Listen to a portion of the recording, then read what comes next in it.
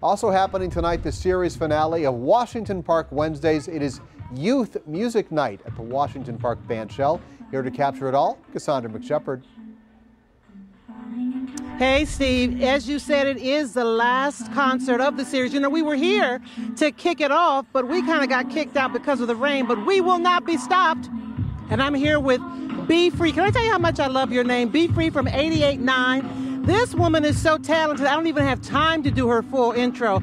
I'm going to have you tell us a little bit about yourself. Thank you. So, I am Be Free, as she said, and I'm a singer, songwriter, producer, musician, and curator here in the city of Milwaukee. And tonight I'm here in the capacity of the music education coordinator for 88.9 Radio Milwaukee for our collaborative event with Washington Park Wednesdays. I love this. You said a whole lot in a little bit of time. But let's talk about again the curator and it being youth night.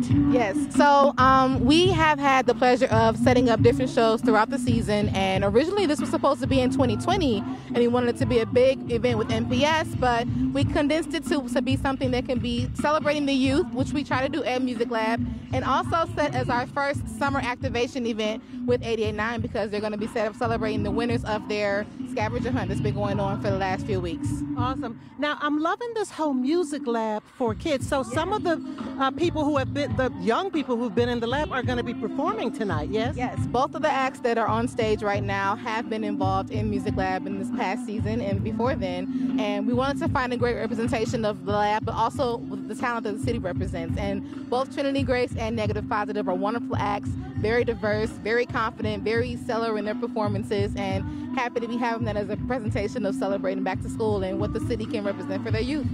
I love this. And I can say they're very young. As a matter of fact, positive, negative, or negative positive, which negative positive. Uh, negative positive. Sorry, see, I'm not very young, but negative positive met when they were 10 years old, and they're on their way to college now. As a matter of fact, this season uh, that they're doing right now is part of their graduation tour that they did for the uh, summer, because most of them are actually graduating high school. So it's really, really cool. And we love the fact that Music Lab has been able to take such diverse people and bring them into different settings like this that they might not see on a regular basis. So make sure you guys look out for Music Lab because we're going to be starting off our season coming up in the end of September.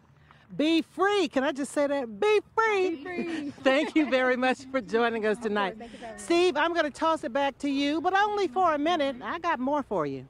I am so glad the weather's cooperating with you this time around and you can show this to everybody.